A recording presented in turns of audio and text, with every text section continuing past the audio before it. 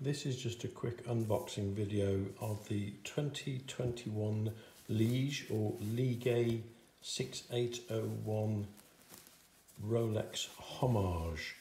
Since I bought and then sold my Pagani uh, design Hulk Homage, uh, I wanted another one and saw this advertised on AliExpress.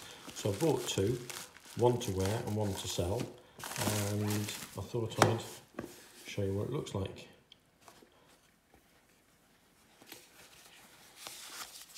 Little envelope of goodies, tags, polishing cloth card, warranty. Comes with a tool for adjusting the strap. And there's the watch with a ceramic bezel.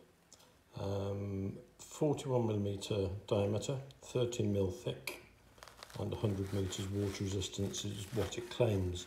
Um, do be careful on the Lige website on AliExpress. It has two models. It has this one, which is about $52, and it has another one about $25, but that only has 25, uh, sorry, 30 meters of water resistance.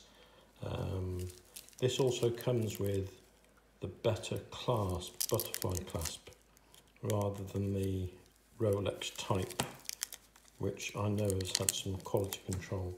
I wanted to show you this one now because I wanted to unpack it and adjust it to wear it. And the other one I'm going to sell on eBay. Solid end links and the dial has a nice sunburst finish to it. Cyclops on the date. And a 60 click ceramic bezel. The colour of which is very very nice indeed. Bit of backlash on the crown on the bezel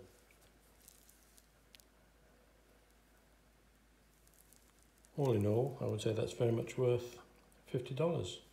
I'll do a review once I've got it sized up and working and let you know what I think.